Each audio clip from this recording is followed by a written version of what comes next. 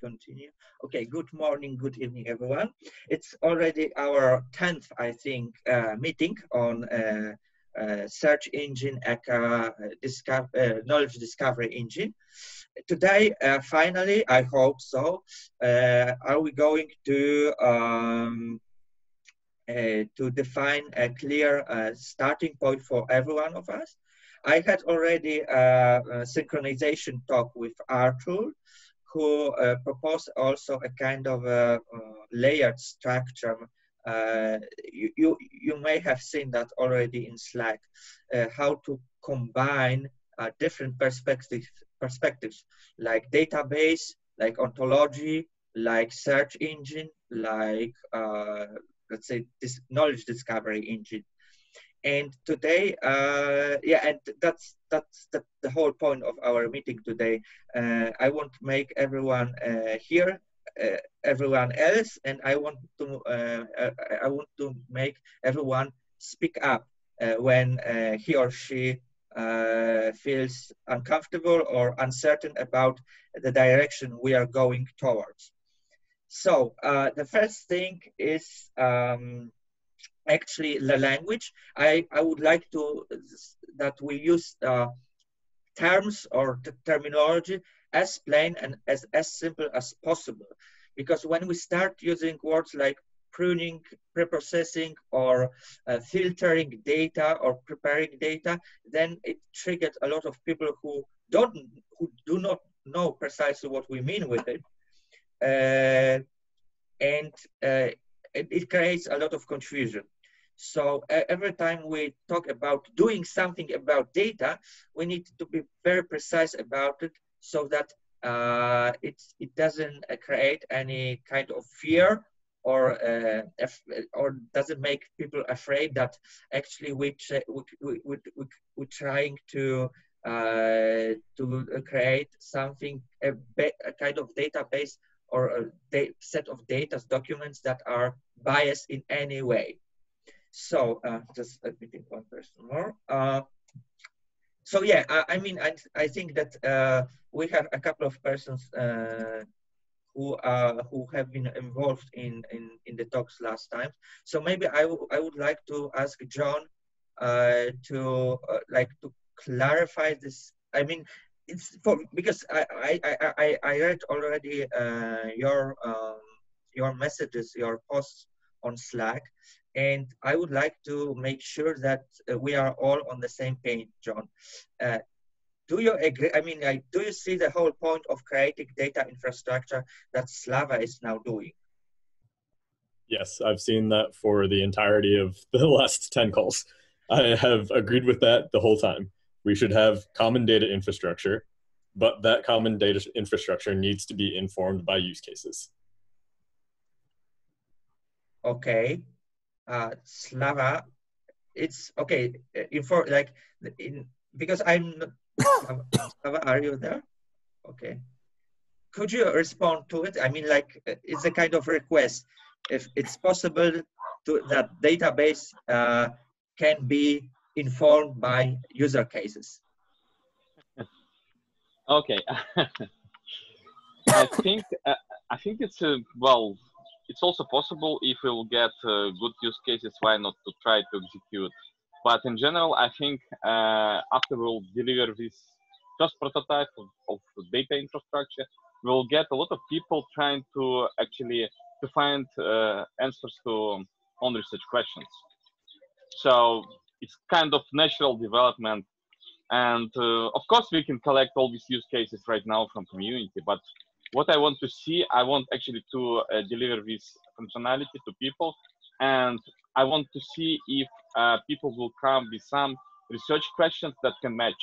Actually, this is how we we can understand uh, what they do and how they're going to use this infrastructure. So it should be not one or two. I think it should be like 100 questions. At least this is my experience how I'm, I'm uh, working with uh, people from uh, research, and uh, I'm doing that in different countries and uh, even in, di in different continents. So yeah, we just I think it's going to happen, but we'll see. Okay, okay, John, it's it's. I mean, you're satisfied with this response? No, I mean, I agree that there will be at some point more use cases developed. Uh, this is, you know, an iterative model. Um, we will continue to develop things. However, we need to have some sort of user adoption early on, uh, because unlike the situations that Slava is dealing with now, where you know the researchers are aware of this utility that they have and maybe they have domain expertise where they're already working with ontologies and all these things um, the people that we're working with uh, with the exception of say jeremy rose dan uh, are not familiar with the idea of using ontologies or knowledge graphs um, or perhaps they don't see the benefits of this common commons data pattern um, and so they're going to continue doing what they do unless we reach out to them and show them how we can be useful. Okay, so so I have quick response to your remark. Uh, we are working together with Brandon, and uh, he's doing amazing job on, on uh, publishing a notebook that will become kind of example how uh, we see uh, the usage of infrastructure. So at the moment, we, collect, uh, we already connected Elasticsearch and MongoDB service is already up and running. It will be filled with all data uh, from Core 19 very soon. And also we have uh, Dataverse integration already. So basically I, I, can share you notebook where you can see all steps already uh, reproducible. And uh, after we'll get like Virtuoso as knowledge graph and other things, we will be able actually to uh, to serve for more people from with different use cases and uh, well I, I'm pretty sure it will grow naturally.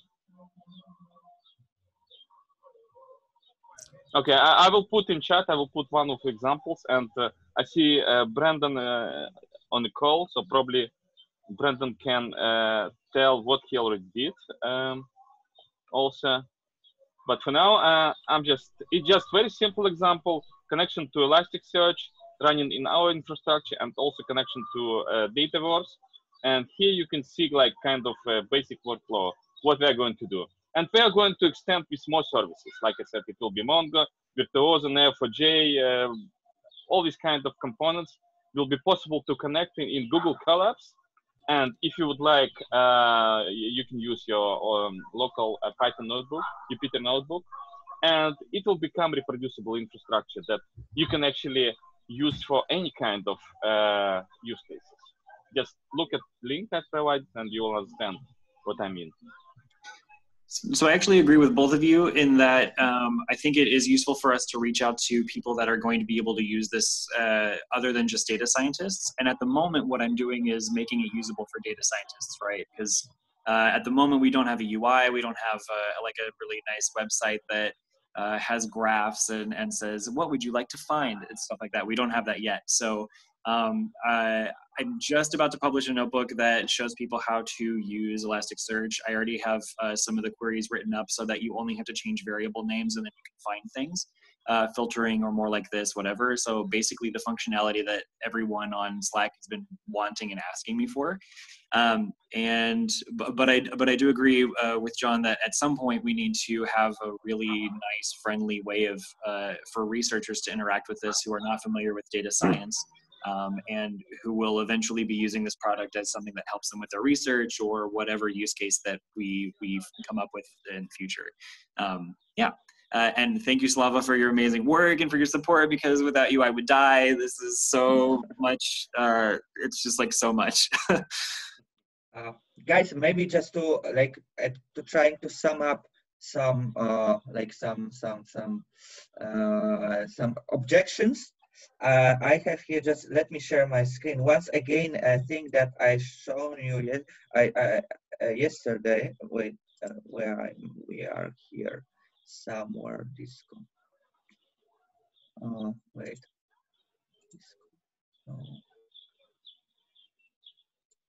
Oh. Yeah, this this this uh, kind of uh, layout of the database. It's the idea is so that we have the database and then we have a multiple different, let's say, uh, uh, features or types of data we can query from those databases. So we can uh, do different types of uh, filtering. We can gra uh, grab, grasp at the different types of, let's say, already preprocessed data like lemmas, UMLS, etc. And we can also, ah, it's not visible here, shit. Uh, and then we have also different levels of, of uh, let's say, different kinds of granularity.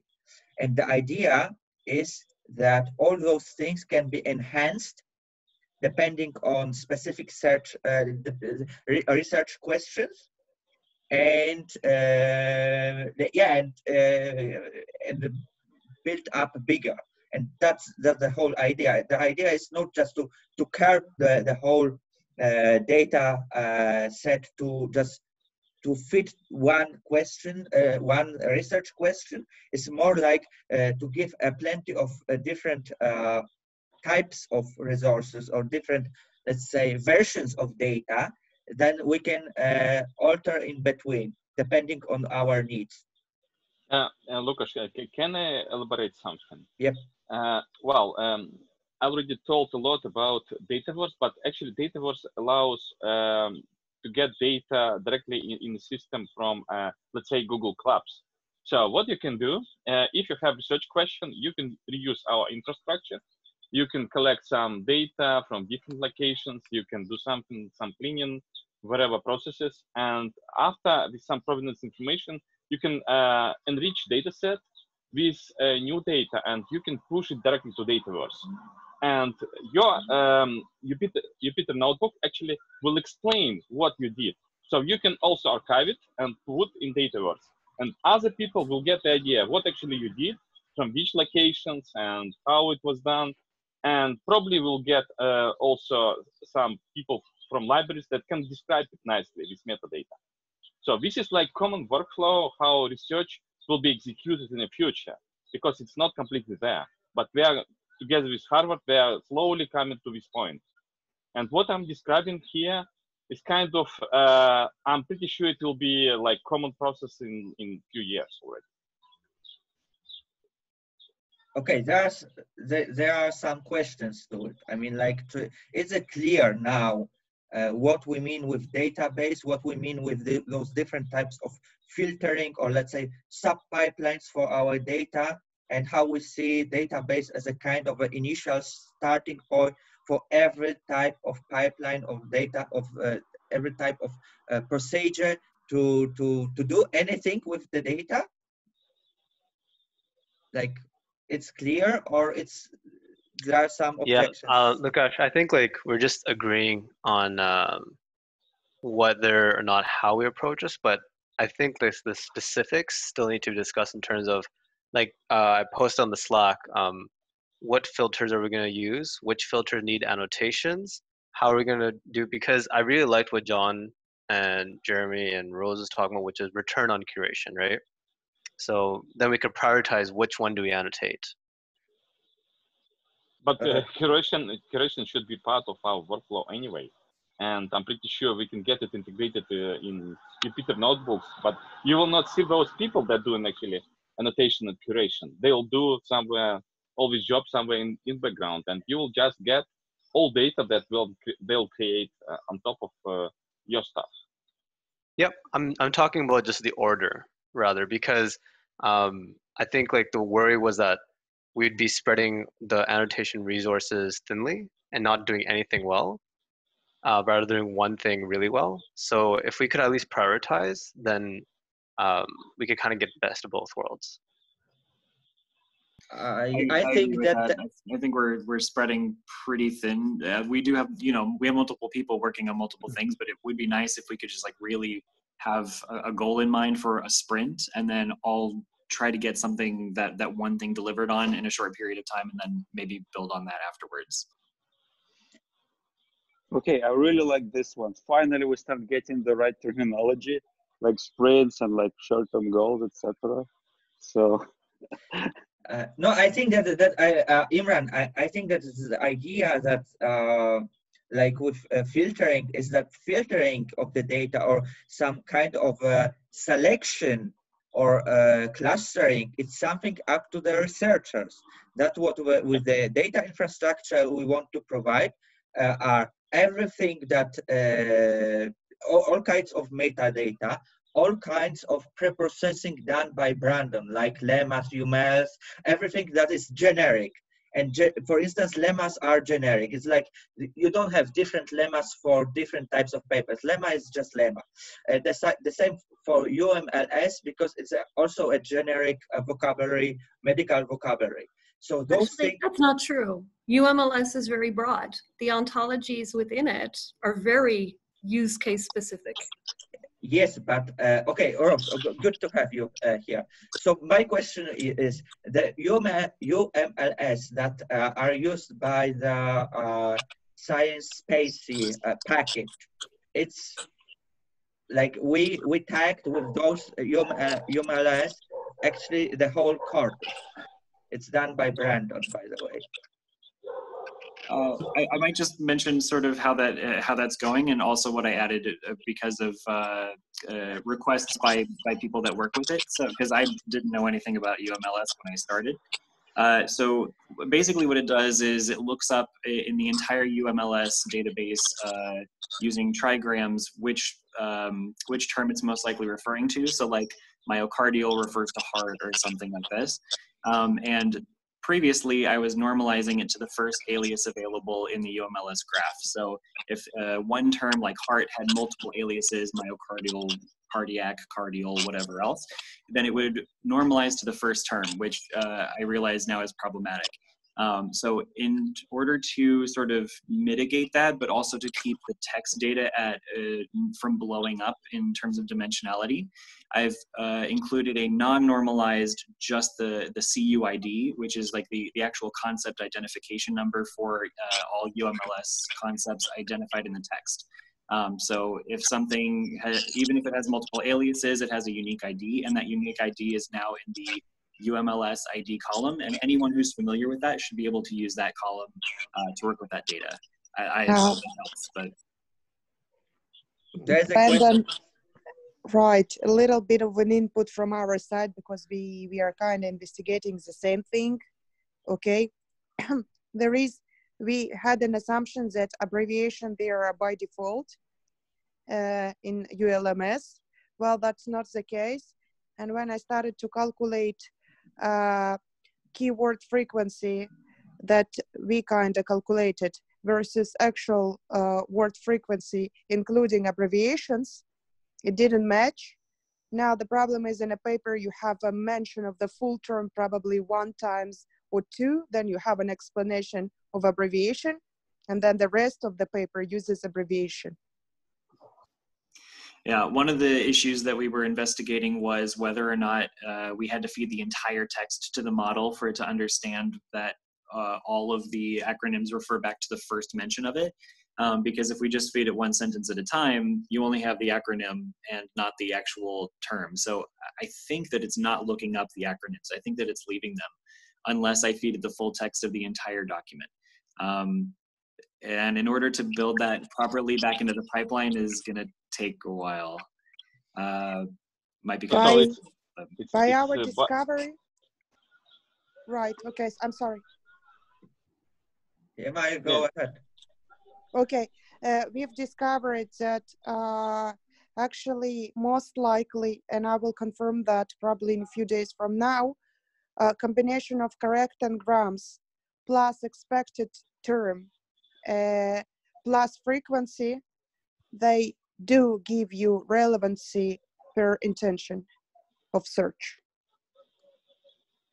And the, this, uh, this methodology increases the, preci the precision of intended search by much. Okay. Perfect. Um, so if anyone who's working with this data uh, needs it to be processed in a different way, please do let me know. Like if something is coming out totally weird, I want to know about it um, because I'm just trying to handle the processing. Uh, if something needs to be changed, definitely let me know because I'm, I'm willing to uh, do some coding for that. Okay. And, uh, I just want to add to this. Uh, all this process actually is research itself. So uh, I think Brandon, uh, if you if you can, can publish uh, your notebook, and other people can take a look, they can change something, and uh, probably we'll, we'll, we we can get better results after some time. It, it is published. It's been published since week one, but I don't know if people are- are really willing to look through the several hundred. No, lines no, no, no, no. code. It's it's not on GitHub. It's it's on Dataverse. It should be on Dataverse. Oh, I see what you mean. Okay. mhm. Yeah, the thing is, I think like I was all like constantly monitoring the common repo, right? And I saw all of the edits code by you, Brandon. It just uh, right now, this is actually the next step for in terms of evolution of, of our group, for our research group, is essentially to start iterating on top of all of that, you know, code base. And again, I don't think that you should be the guy to do all of these different like use cases. This is essentially here is the seed of our pipeline and now all of the people within this channel, for example, just fork it, iterate on top of it. All of that is, we already have an infrastructure ready to consume all of this and produce results.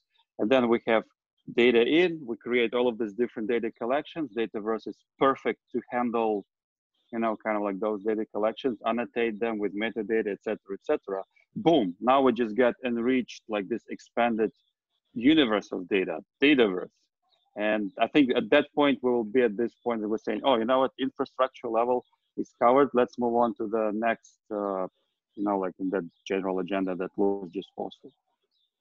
Yeah, and I remember Brandon said something that this is only for data scientists. But the way how I see it, uh, we can construct the groups. Like medical experts can can come together with people from data science, and they can work together because they can share links like Google Colabs. It's, they can make comments, they can do some collaborative work, and I really believe that they can create something new together. Okay, so just uh, to uh, like to to just to sum up on uh, UM, UMLS uh, terms. So it's something that uh, should be also be part of this this basic pipeline. But at now, as mm, if I am uh, understood uh, you correctly, Brandon, it's like not hundred percent clear or sure if it works or not, giving a single sentence. We can be relatively certain that it's working well, but it's not working perfectly, as with any natural language Okay. processing. Yeah, yeah, uh, sure, sure. hmm okay. No, just because there was, uh, Rose, if you could comment on that, uh, because I want to be sure that uh, we are on the same page once again. So honestly, I have to go back to UMLS. I was just trying to do that right now. I, Okay, Jeremy, do you know if your stuff is covered with those ontologies that are included? I think it refers specifically to clinical. Um, So the data set uh, that would most be, be most useful, I think, is actually in Pathway Commons, which is um, already in BioPax form, which is an RDF. It's actually OWL, and so it's got its own ontology, and so that that should be able to be uploaded into into uh, Virtuoso. Is that what you were asking, uh, Rose? or no, I'm asking you a different speci- question? So what Brandon is doing with UMLS, Yep. assuming that all the named entities, are your named entities in there? Because I think that's based on SNOMED and like very clinical concepts. I don't know if your concepts are in there or Oh, not. I see. I see. Um, that's a good question. So we We can take that offline. I, I, I don't no, know. no, the answer. I do want to I'm sorry to interject. So for SNOMED and everything else besides UMLS, UMLS is a just as a collection of ontologies, and so the CUID, the concept ID, does map to other uh, dictionaries. Um, that just requires a different package, um, but uh, it should map to other like either pathways or uh, SNOMED or LOINC. Yeah, sorry, I should have mentioned that. It actually it does include like 40 gigabytes of of uh, like databases from different uh, ontologies. So it's like proteins, it's Yeah. types of tests, it's, it's basically everything. Yeah. I can send you a link if you want to message me uh, about the full list of all dictionaries that it does link to. Um, it yeah, it's not usually accessible, but um, it does have a pretty broad um, uh, scope. Okay, Okay, so I think great. that we, we can we can have this discussion on on uh, UMLS later on. Just like my uh, intention uh, would be that, uh, for instance, uh, those terms, medical terms, UMLS terms, are uh, delivered for all papers so that it's like it's part of this common infrastructure like lemmas like uh, entity recognition etc etc uh, and so that uh, everyone can collaborate on it. And that's that's the like initial point uh, uh, for for for slava's work. Okay so the, i think that we are in somehow over i mean like we know where we uh, with the database and what's the what is the idea of let's say building the next puzzles or next uh, next pieces of of of, of, of Lego uh, in, in, this pipeline. Uh, there are some questions on that or other questions. Is is the next step clear for yeah. everyone in terms of what we need to do? Yeah, next step. I think I'm a bit confused myself. Yeah, I, next step uh, would be it was my question to um, to Slava. Slava, you mentioned on on Slack that the uh, common database is not ready yet, and uh, my question is. Uh, uh, what do you need to uh, to make it to, to make it happen? Well, it's not only a common database, but it's a pipeline itself is not completely ready. And what I want to achieve right now, uh, I, I, want to build a kind of uh, Docker with Jupyter notebook that will be uh, suitable for any kind of tasks as is. So after you will get uh, some uh, page where you, you, you can download just package and after this package will be installed and after you will execute it uh, it will download all data sets that you need to work on and uh, it will connect to all services that we're actually providing. You will be able to uh, run all experiments uh, that uh, we already collected in our infrastructure. So basically you should be able to reproduce all results from all tasks that uh, we already published on, on Kaggle and I'm pretty sure that people can learn quickly from what we did in the past and they can create something new. And this part currently is missing, so it's not there. However, I'm already working on it and I think like probably next week I can deliver like first uh, version of uh, this infrastructure. Okay, so. Uh, can, can I ask a, a clarifying question actually? So what Arthur had presented was sort of splitting out ontology, discovery engine. There, there were all different pieces. There was the underlying data, and then there were specialties on top of that, where we would add the ontology engine, we would add the um, the UX for want of a better word. The way it's being described right now, it's sounding like that's all being linked together. Yeah. Yeah, that's correct this is uh, actually what what infra- infrastructure is. A uh, set of services that actually can work in, in different pipelines and you'll be able to construct different pipeline according to your research question. If you don't need knowledge graph okay you can just use elastic to do some uh, uh, exploration of uh, collections that we already have Yes, because like uh, uh, it's. I think that in the in that uh, Rose in in the conversation with with our author, uh, Arthur today, we already made. Uh, I think we, we chanced to to make it clear that actually database is something like the basic, the most primordial part of it, on which we can build up other parts independently or dependently, depending on on our needs, and that uh, the whole idea is that we all function in the same uh, environment so that we don't have uh, three different tasks group and three or four different, uh, let's say, pipelines being completely independent. I guess what I'm struggling with a little bit when yes. I look at an application that's complicated like Jeremy, where we're going to need to add additional pieces in there, it, sounds like what what Slava is talking about is sort of a they select the technologies that will be used they provide them all within the infrastructure. They will do all of the curation of the metadata. And i, I get no I no no no no no no no no no no. You don't get it. Okay so uh, we have dataverse and dataverse actually was developed for curation of metadata on top of any data set and any data you are processing. And it's just beautiful tool. Uh, I don't know if you're familiar. Uh, if I looked already... at your, yeah, I looked Yeah. at your presentation. Yeah. Okay, good. So, so you already know more or less how to use it. And what we need is just basically librarian uh, with some domain knowledge or a librarian that can ask expert about uh, some metadata fields, how to fill it. And uh, this process can, uh, can, can be done completely independent from data uh, processing, actually.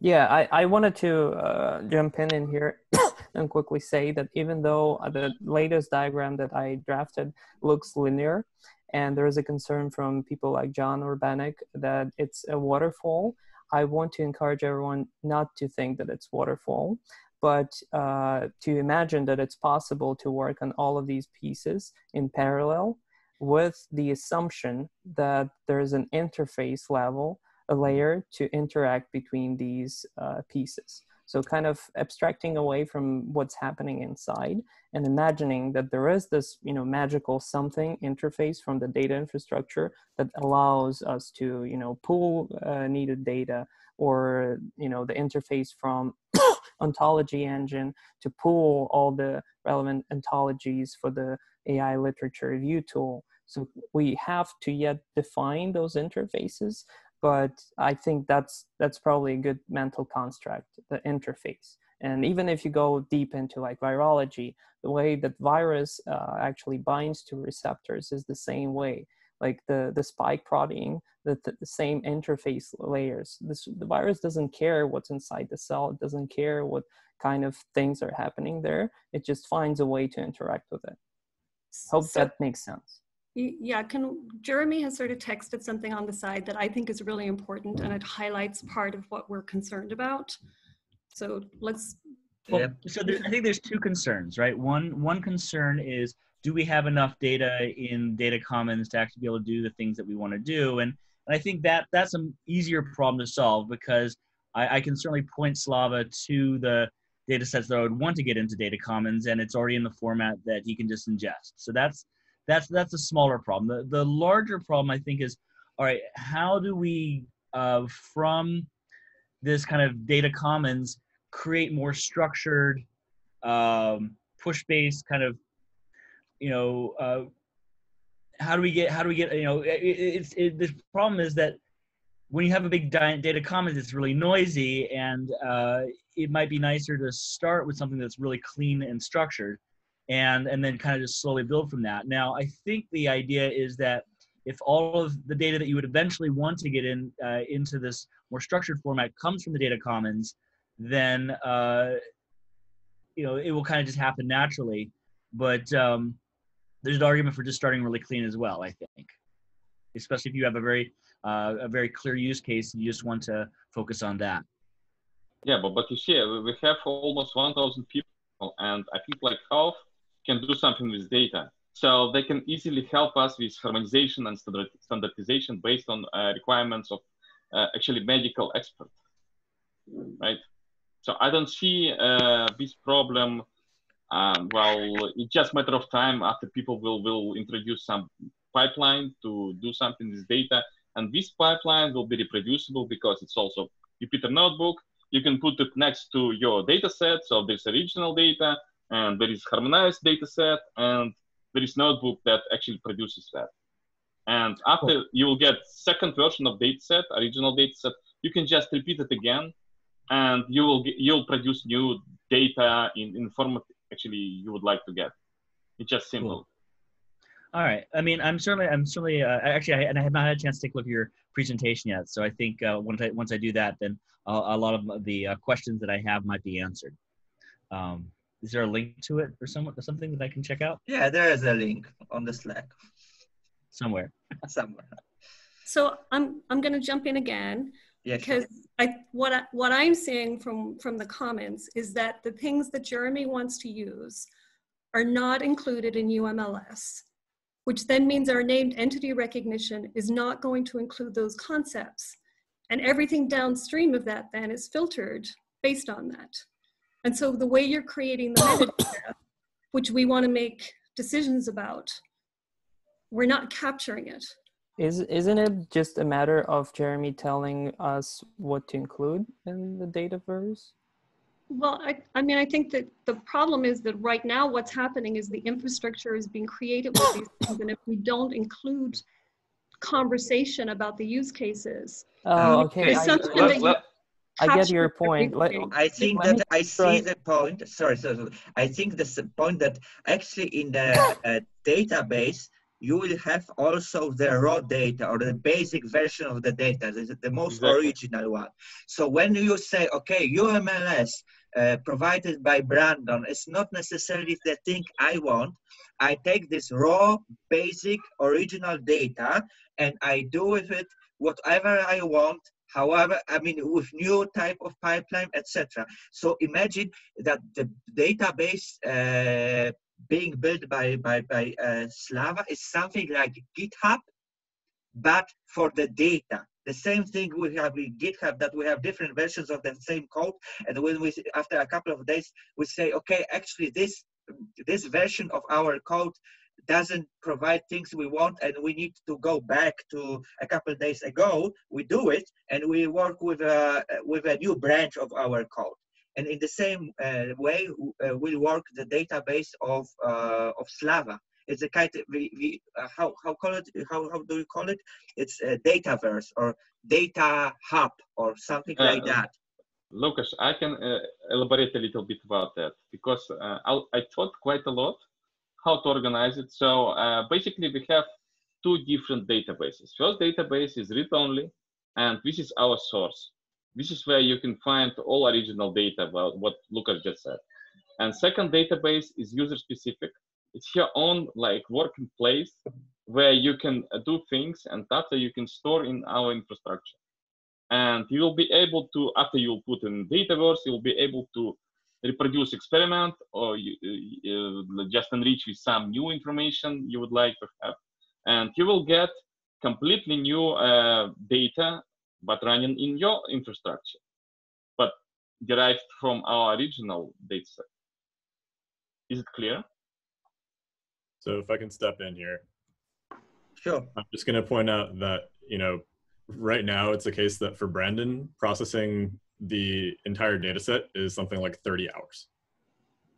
What we're proposing here is that perhaps the data infrastructure team should be the ones who do some of this initial pre-processing and make several different products. Like here's it processed with UMLS. Here's it processed with different subsets of UMLS. Here's it processed with the ontologies that Jeremy needs so that this becomes useful to the researcher who needs that different form of the raw data set. But we can't expect that they will be the ones to do that initially until we show them that it is going to be useful. no no no it's- Brandon is our infrastructure guy. I, uh, I'm kind of the infrastructure guy. But if I No, can no, make no, but- one, can I can I Really, like in terms of comment? function. no guys So- I, I, have, I have very clear vision uh, about this so um, i have some experience with notebooks and uh, I, uh, also i'm working with r&d guys that not producing uh, production pipelines. So what we can do if we will see something useful we can just put it in production in our own infrastructure. You don't need to run all these uh, conversion steps on your own. We can do this in google cloud in scalable way. Yeah by, by that's what I'm suggesting that we do. And in order to find out the things that are useful, what we need to do is go out and talk to the people who are already trying to build these pipelines, figure out how to generalize them and make them production ready. Yeah. Yeah, but, but we'll we'll get But probably 1,000 Jupyter notebooks after some some time. It's it's a so we can balance. build it. Yeah. it's a balance of the timing and the, the progress that we have. So obviously, like there is no right answer, right or wrong answer here. It's just a matter of timing and catching up to the perfect time, from my Um, perspective. Definitely, I agree with Artur. Um, and and I just wanted to update about the 30 hours thing. So, uh, with previous iterations of the data set and with adding more fields and stuff, like that's the stuff that really takes a lot of time. Um, but now we should be to a point where we we I don't I can't see many more things being added to where I need to re- redo it every single week, which is really nice. I only need to process the new every 5,000 documents or something. Uh, because we like version 7 brought language translation, version 8 had a completely revamped UMLS, uh, the next one had different uh, lemmas or whatever. Um, and now I think that we've gotten to a stable, what I would call a text cleaning pre processing step that is the basis for whatever other people want to do. So if they want to add like SNOMED or something, then they don't need to uh, completely process the entire data set. They just need to run it over each one of the sentences and, and extract one piece of information. Um, and to Rose's point, um, I, I, try, I knew that there was a limitation on UMLS, and I, I wasn't sure how big that limitation was. So with the other named entity recognition models, because I ran five over the data set, um, each one of the additional named entity recognition models are statistically based. So they look at the part of speech of the word instead of what it actually represents. And if it's likely statistically to be a named entity, then it's put into a different column. And then it uh, also tries to put that in the particular kind of named entity, so like DNA, cell structure, protein, whatever else. It, the the drawback is that that's not linked to less. So um, we have. I'm pretty certain that we have all of the named entities, but you would need to aggregate all of the 30 different types into one if you want to do something like that um, and adding information from SNOMED and all these other things that Jeremy wants to use, I, like that's a great idea. Um, I just need a little bit of help figuring out how to do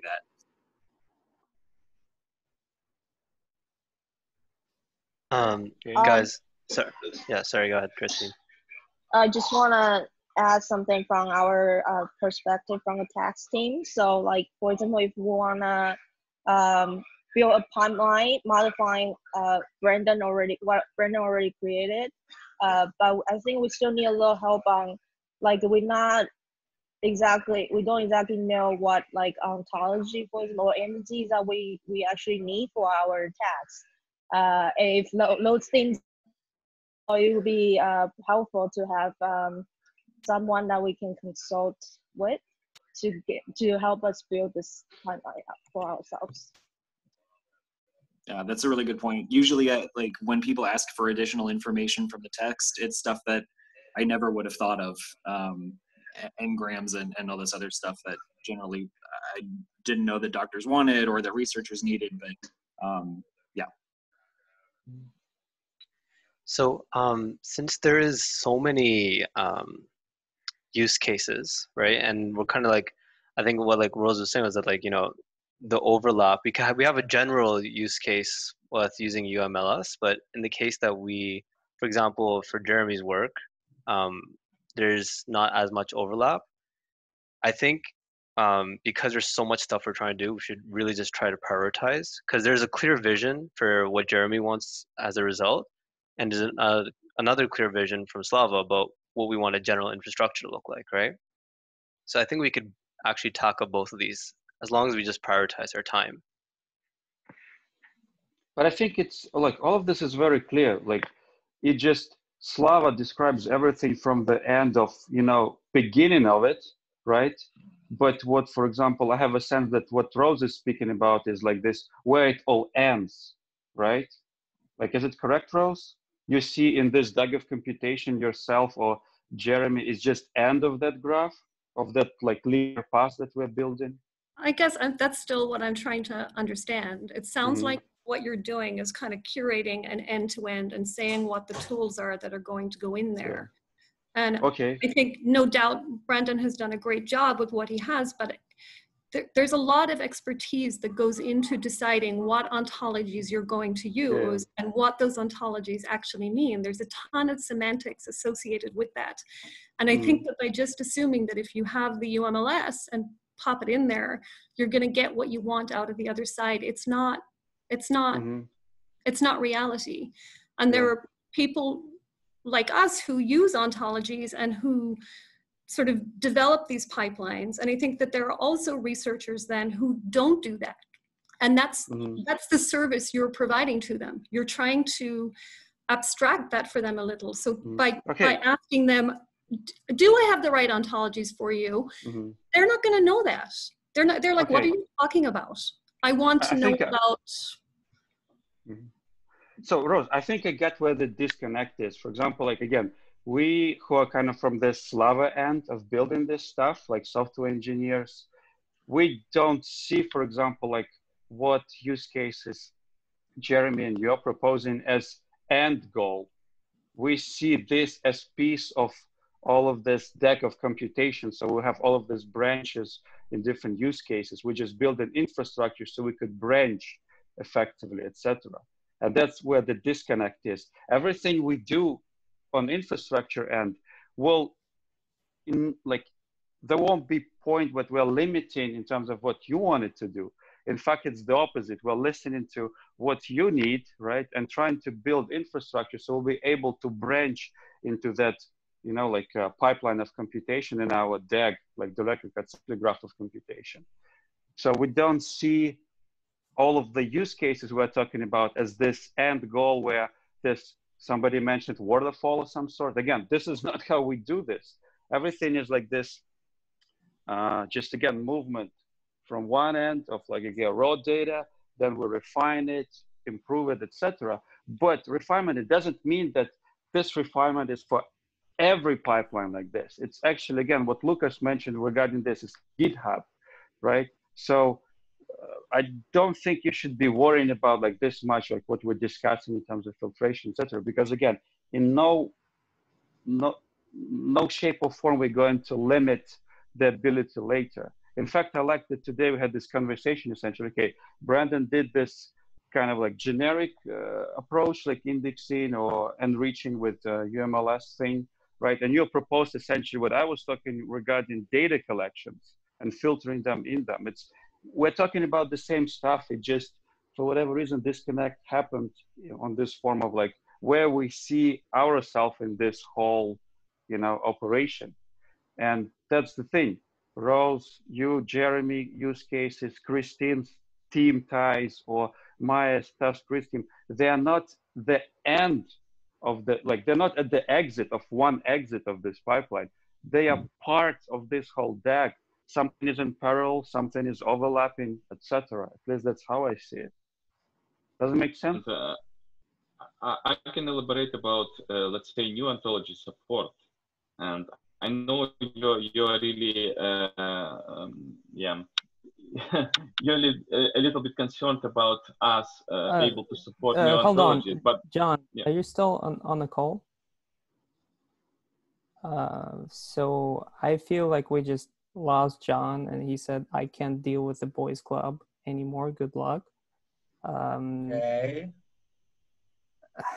I mean, he's not on the call anymore, right? Yeah. No, he's gone. Well, okay, let's let's discuss it sometime later. Uh, Slava, please proceed. Yeah, so, so what, what actually I wanted to say, uh, uh, new ontology can be also uh, added in, into our infrastructure with Dataverse. So if you have file, uh, it can be any format, and you can upload to Dataverse, and after you can get it back in, in Jupyter Notebook, and you can create process to enrich and uh, yeah, to add all these um, entities uh, to a new collection and we can run it in production. So this is a way how you can actually link new things to uh, what you, you want to achieve. And also the same for control vocabularies, by the way. Rose? I, I feel like we keep having the same conversations over and over again. It doesn't okay. feel like that. It feels like what you're giving us is a pipeline and you're telling us that you guys will build the various people of the pipeline, but we have different tools that we might want to put into the, the pipeline. No, and you can. John has, can, can I finish? Yeah. John has presented an architecture where we start to split it out and specialize a little bit so that we can leverage some of the stuff in the metadata. And, and please start working on that. Like th- that's the missing piece of miscommunication that mm-hmm. we're kind of failing to uh, converge to. We want you to do that, and we're just failing to find common speech to explain that. If that makes sense. Yeah. yeah to I, I think what you Artur's point. Morning. Okay.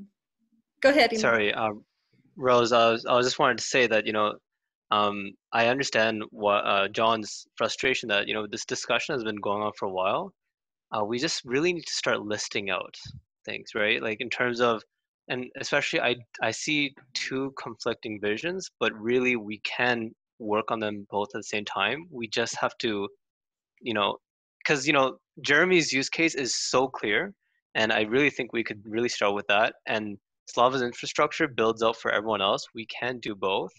We just need to start listing it out and documenting it, and then looking at how can we break it down.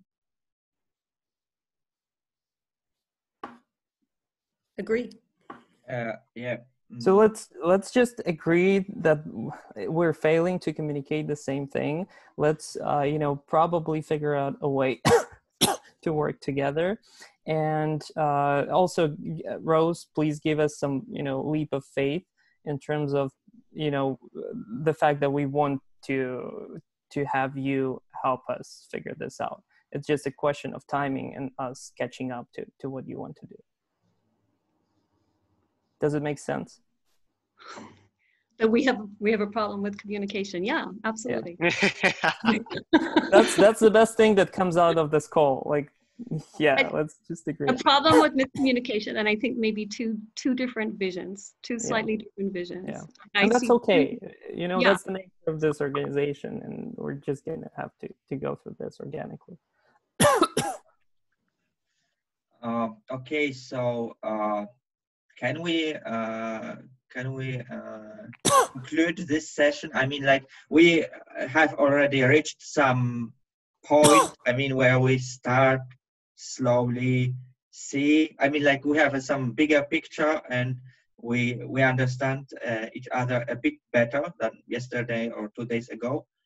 So uh, I'm going to put everything on uh, YouTube, just in the case mm -hmm. for all other folks and uh, yeah um, i hope see you uh, next time uh, all of you all right. Goodbye the boys club. Good luck.